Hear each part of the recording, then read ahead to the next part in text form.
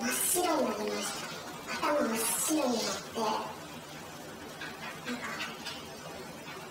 血の気が引いたような詐欺の被害を受けたのは上川管内に住む50代の女性。少しでも収入を増やしたいという心理につけ込まれました。給料も上がらないところが下がるし物価が高いしスクリーンショットをしてお金もらえますよっていうお小遣い稼ぎいいなってその時一瞬思っただけで今年5月 SNS を通して簡単に報酬が得られるという仕事が持ちかけられました。広告動画を視聴しその証拠としてスクリーンショットを送るというものです。女性が指示に従うと数百円の電子マネーが送金されてきました。その後も指示通り作業を行うと。3万ぐらいまでは入金されてきたんですよね。ちゃんとお金が入ってくるなら大丈夫かなと思って心理的にちょっと自分のガードを緩んだかなっていう気がします。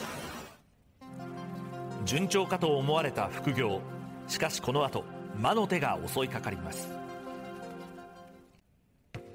SNS で指示された簡単な作業を行い報酬を得ていた50代の女性。ちとお金が入ってくるなら大丈夫かなと思って心理的にちょっと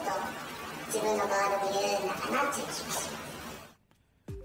その後複数人が共同で作業を行う上級会員チームに招待されました。仮想通貨で取引する仕事でしたが仕組みが複雑で指示通りにできませんでした。するとペナルティを支払うよう請求され女性は合わせて60万円を振り込んでしまいました。私のせいで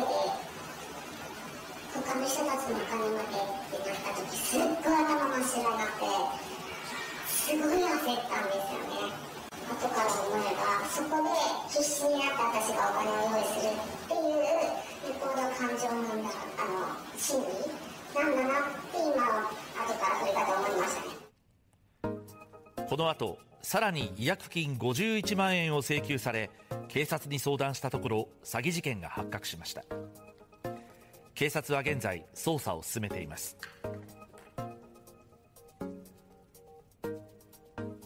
統計によりますと SNS を使った詐欺は年々増加していて去年の被害金額は少なくとも7億円を超えています。